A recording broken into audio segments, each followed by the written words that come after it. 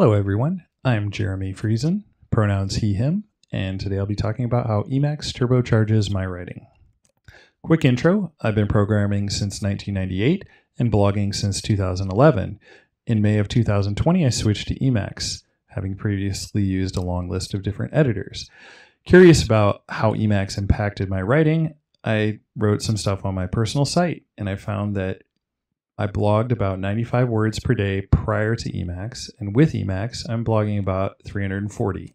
Now, this is not a fair comparison. Many things changed. Um, a pandemic removed two hours of commute every day is a big contributor. Um, ultimately, though, I've used Emacs and extended it to reduce barriers to capturing and writing and thinking. And I'm always on the lookout for minor refinements that help me stay in my thinking how I got here was I started in WordPress and then I moved to Jekyll and then to Hugo. And through that process, I started writing in Markdown. And when I was learning Emacs, I also didn't want to learn org mode. It felt intimidating because it could do so many things. I later learned org mode grows with you, and that's where I'm at now.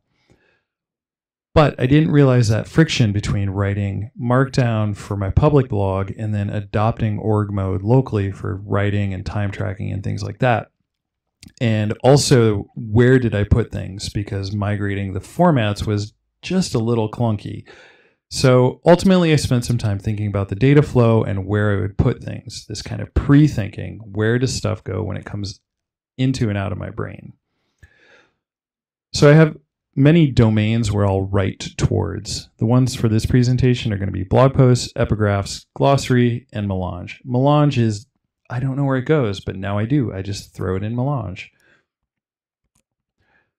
So I began exploring org mode via org Roam, but have ultimately switched from org Roam to the simplified denote package. Um, I didn't use a lot of the functionality, and I appreciate the plain text reality of denote.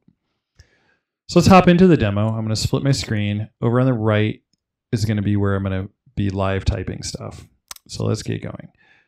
I You'll notice I don't do a lot of screen splitting. It just makes it easier to focus.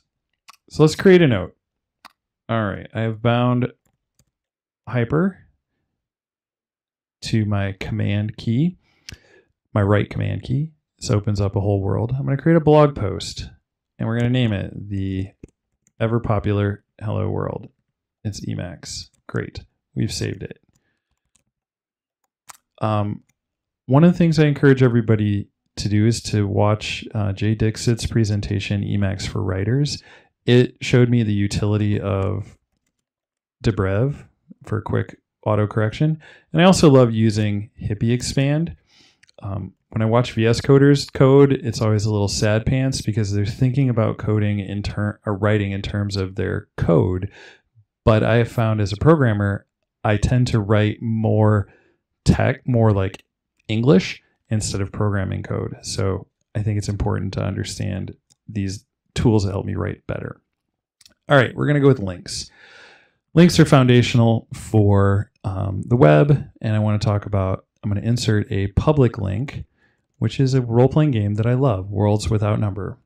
And I'm going to go ahead and describe it a role playing game. But I don't want to always say role playing game. I'm going to abbreviate it. So I wrote a function that will transform it. And let's take a look at what that looks like on the inside. When I do this real quick, it's toggling it back and forth.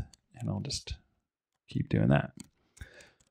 I also have the idea of public notes and private notes. Public is things that's going to have a URL. I met a person at a conference. He gave a talk on something that I thought was very useful. I didn't write down what he talked about on his note. I wrote it where it was more relevant to the topic, and I can use a backlink to go find that. Next up, I demonstrated the abbreviation. I also have dates. Uh, this is a semantic date in uh, HTML5. I can just have the year I can also just have something like uh, that date is today. And we have date links. I don't have backlinks built up for that, but I have ideas of how I go about doing it. And last up, thank you, Frank Herbert. I want to introduce epigraphs. So this is epigraph, and I just have that any sufficiently dot dot dot, and that's my epigraph.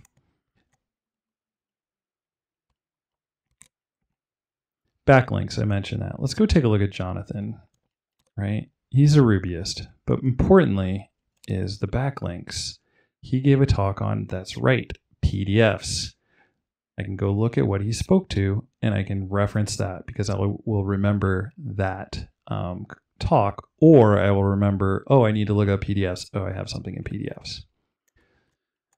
Again, it's about stumbling upon data in a good way. So, thinking of making linking easy helps me create more and more ways to find things, both by links, backlinks, indices, file searches, and so forth.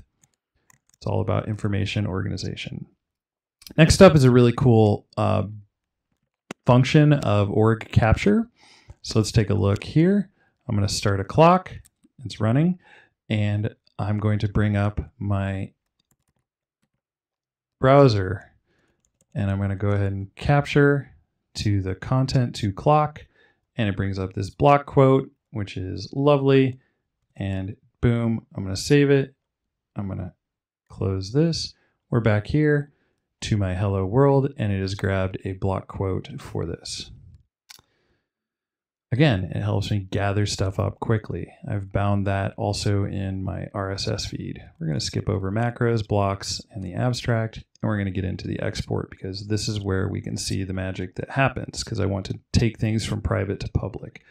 So I have bound a key. These are my menu of things I don't want to forget. I will export, and here we go. Here is my um, my blog post in markdown format with Hugo shortcodes. So let's go take a look at what that looks like. Localhost. I am not writing in Rails. Hello world, right there. This is the epigraph. And I have a mention of worlds without number, and I've mentioned this as a abbreviation, so I include the first time this um, text. Here's also Jonathan. He is not a public reference thing. Also, I have the these things here, and here's my captured information along with the citation link to, to it. Again, helpful to be consistent. Um, in conclusion, when I started learning Emacs, I quickly shifted to vanilla Emacs and just started writing. As I wrote, when I needed to do something that I'd previously done in a text editor, I'd find an experiment with a package.